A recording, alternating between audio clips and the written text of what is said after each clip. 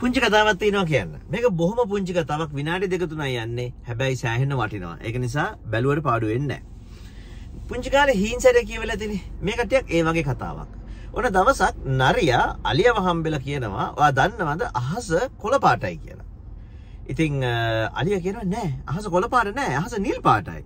මේ තනකොළ තමයි කොළ පාට. නරියා කියනවා නෑ නෑ තනකොළ නිල් පාටයි අහස කොළ පාටයි කියලා. ඉතින් දැන් මේ දෙන්න අතර මේ ෆයිට් එක සෑහෙන වෙලාවක් කරන මේ ආගියුමන්ට් එක සෑහෙන වෙලාවක් කරන සෙටල් වෙන්න බැරි වෙනවා. ඒ නිසා දෙන්නම තීරණය කරනවා හරි අපි සිංහයා ගාවට ගිහිල්ලා අහම අපේ රජතුමා ගාවට ගිහිල්ලා අහමු මේක හරි උත්තරේ මොකද්ද කියලා. ඉතින් දැන් දෙන්නත් එක්ක සිංහයා ගාවට ගිහිල්ලා කියනවා මේ අලිය කියනවා මේ නරිය කියනවා අහස කොළ පාටයි තනකොළ නිල් පාටයි කියලා රජතුමනි මේක අපිට පැහැදිලි කරලා දෙන්න මේ මේ නරිය මේක පිළිගන්නේ නැහැ කියලා. රජතුමා කියනවා ඔව් ඇත්ත මේ කියන්නේ සිංහයා කියනවා ඔව් ඇත්ත අහස කොළ පාටයි තනකොළ නිල් පාටයි කියලා. ඉතින් දැන් නරියට හරි සතුටුයි. නරිය දැන් උඩ පැනලා හූ කියලා මේක සෙලිබ්‍රේට් කරනවා. ඊට පස්සේ නරිය කියනවා රජතුමනි දන්නවද මේ අලියා මේක බොරුයි කියලා මට සෑහෙන නින්දා කරා අපහාස කරා මට සිත්‍රිදවීම ඇති කරා අලිය පිළිගත්තේම නැහැ අහස කොළ පාටයි තනකොළ නිල් පාටයි කියලා. ඒක නිසා මේ අලියට දනුවම් දෙන්න කියලා. ඉතින් සිංහයා කියනවා සිංහයා තීරණය කරනවා අලියව අවුරුදු 5කට ග්‍රවුන්ඩ් කරන්න. ග්‍රවුන්ඩ් කරනවා කියලා කියන්නේ මේ එළියට යන්න බෑ පොඩි අර නිකන් නිවාස සදස්සියෙක් ඔයක වැඩක්. ඉතින් මෙහෙම කරාට පස්සේ දැන් නරියට හරි සතුටුයි. ඉතින් නරිය දැන් උඩ පැනලා සෙලිබ්‍රේට් කරලා නරිය යනවා. දැන් අලියට හරි පුදුමයි. අලිය කියනවා රජතුමනි ඔබතුමාගේ දඬුවම මම පිළිගන්නම්. හැබැයි මට කියන්න ඇයි ඔබතුමා මට දඬුවම දුන්නේ? ඔබතුමා දන්නව අහස නිල් පාටයි තනකොළ කොළ පාටයි නරිය කියපේක වැරදි කියලා.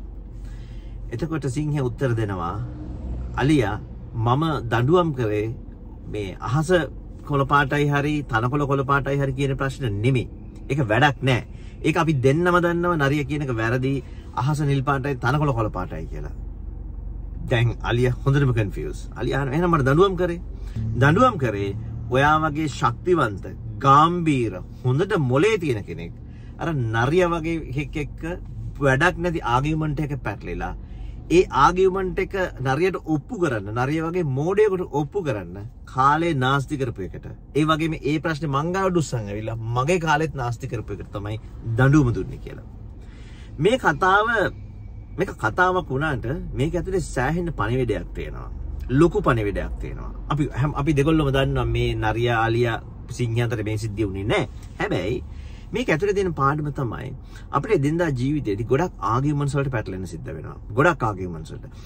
සරලව ගත්තොත් Facebook එකේ. Facebook එකේ වීඩියෝ එකක් දැම්මම පෝස්ට් එකක් දැම්මම සමහර අය මේකට කමෙන්ට් කරන්නේ මේක හරියට කියවන්නේවත් නැතුව. ඒක උඩ එක්කෙනෙක් කමෙන්ට් කරලා තියෙන හින්දා එහෙම නැත්නම් වීඩියෝ එක බාගෙට ගිහිල්ලා බාගෙට බලාගෙන ගිහිල්ලා ඉතුරු ටිකේ මෙහෙම කියනවා ඇති කියලා හිතලා කමෙන්ට් එකක් දාලා ලොකු ආගියුමන්ට් වලට පැටලෙනවා. ඉතින් Facebook විතරක් නෙමෙයි මේක හැමතැනම සිද්ධ වෙනවා. ඒක නිසා මතක තියාගන්න. තමන් අනිත් අයත් එක්ක ආගියු කරලා ඒගොල්ලන්ට දෙයක් ප්‍රූව් කරා කියලා තමන්ට ඇති වෙන දෙයක් නැහැ. ඒක නිසා හැබැයි තමන්ට නැති වෙන දෙයක් තියෙනවා. ඒ තමයි තමන්ගේ වටින කාලය. ඒ කාලේ ආයේ නැහැනේ. ඒක නිසා මොනවා හරි දෙයක් ඔප්පු කරන්න බොරුවට ආගියුමන්ට් වල පැටලිලා තමන්ගේ වෙලාවත් නාස්ති කරලා තමන්ගේ ලේත් කෝප කරගන්න කලින් හිතන්න මම මේ ෆයිට් එකට පැටලෙන්නේ මම මේ ආගියු කරගන්නේ මට ආගියු කරන්න තරම් කෙනෙක් එක්කද? එහෙම නැත්තම් බායි කියලා එතනින් යන්න. ආයි වීඩියෝ එකකින් එන්න ඊළඟ දවසක